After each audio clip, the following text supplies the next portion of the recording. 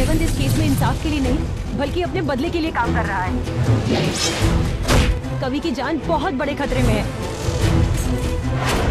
उसने कवि को किडनैप किया और उसे दखरान के पास लेकर गया।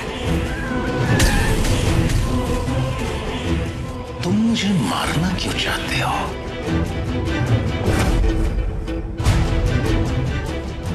क्यों?